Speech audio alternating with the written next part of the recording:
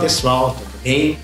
Hoje eu vim conversar com vocês sobre o uso de máscaras em crianças, que junto com higienização da mão, uso de álcool gel, distanciamento social, são fundamentais para a prevenção do coronavírus. Vale sempre a pena lembrar que as máscaras têm que estar sempre bem ajustadas. Se a hora que você for colocar, colocar o dedo no elástico e cobrir nariz e a boca. Não devemos usar máscaras em crianças abaixo de 2 anos, pela dificuldade de entendimento da criança, pelo uso de chupeta, pelo risco de sufocar e também pela manipulação que eles fazem da máscara.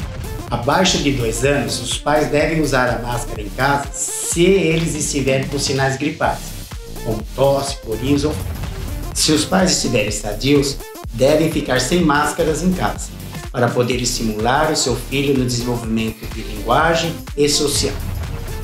Em crianças entre 2 e 6 anos está indicado o uso da máscara, mesmo sabendo das dificuldades de usá É importante ensinar essas crianças a usar máscaras, porque elas terão que retornar às atividades escolares e ao convívio social.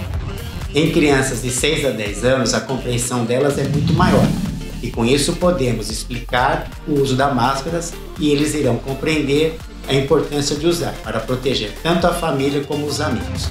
Em adolescentes, por ser uma idade desafiadora, temos que ter muito diálogo e conversar bastante com eles, porque eles têm a compreensão que é importante protegê-los e proteger os grupos que eles fazem parte.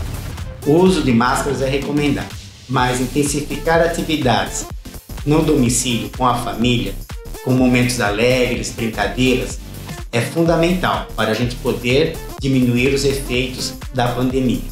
Esta foi a minha mensagem de hoje. Muito obrigado.